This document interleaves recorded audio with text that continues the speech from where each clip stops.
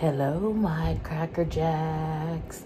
Welcome to my Cracker Jack box. Kiki here with another one of my spooky stories. So, for returning Cracker Jacks, much love. And for brand new Cracker Jacks, much love. We love everybody here. If you're brand new, if you could hit that subscribe button, maybe that notification bell, put that to all.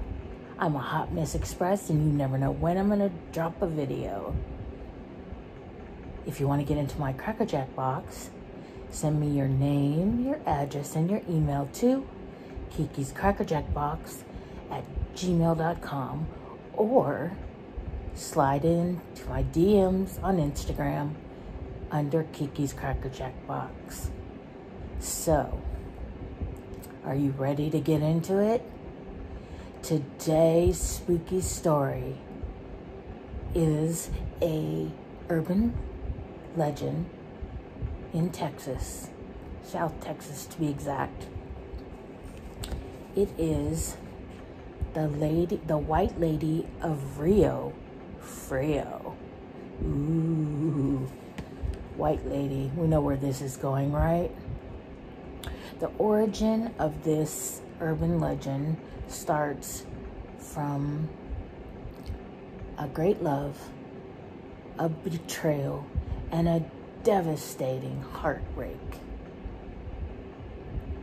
The White Lady of Rio Frio is said to be seen as a wispy fog down by the Frio River, or I'm sorry, down by the Nueces River near Frio in the community of Rio Frio. The story goes that there were two sisters.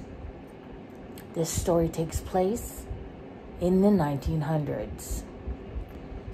There was Maria Juarez and her sister, and they both were very beautiful ladies. Her sister was older than her. They were described as the most beautiful women in Rio Frio.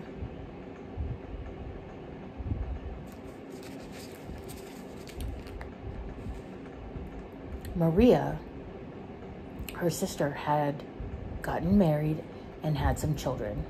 And Maria hoped to do the same. She just really wanted children and a husband to love.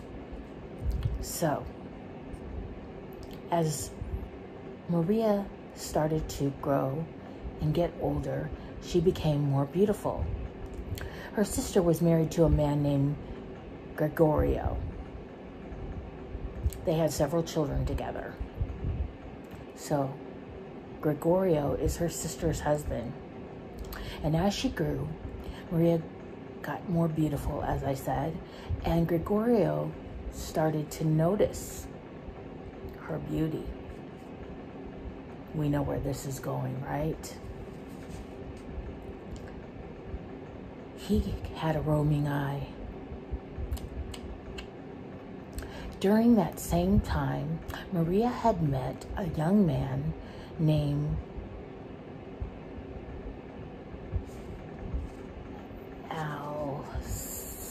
Selmo. Yeah, that's it. I am, I apologize.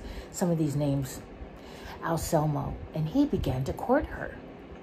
He started bringing her flowers and professing his undying love.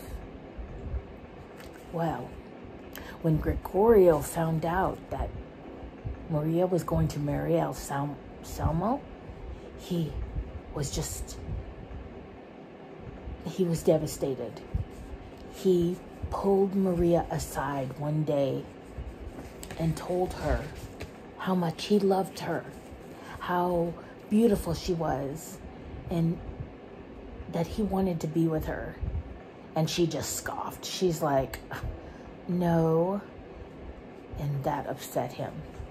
He had a very big temper and his anger grew.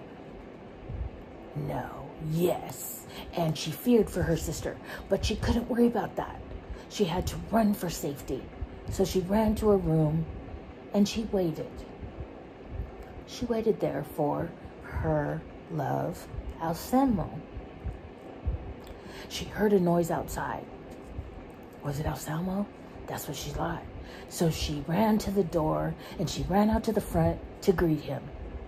But it wasn't Anselmo, it was Gregorio. He shot her right through the heart. She died instantly, right there in the middle of the road.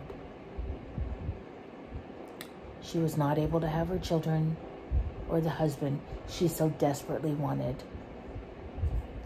Legend says that Maria glides across the town, the community.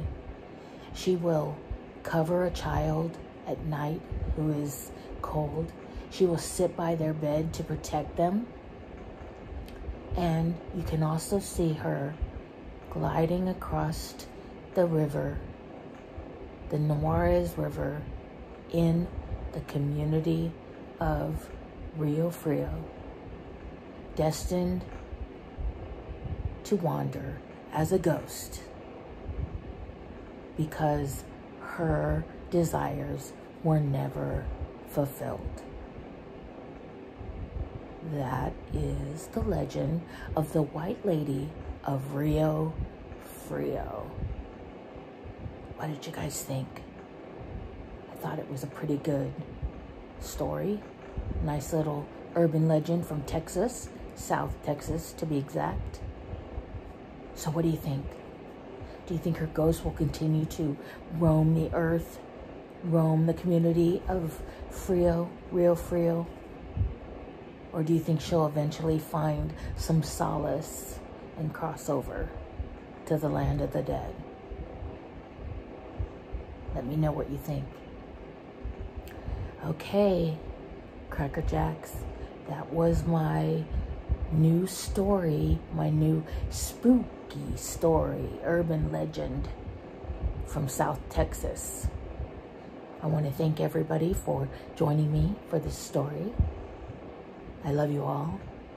Remember, Kiki loves you.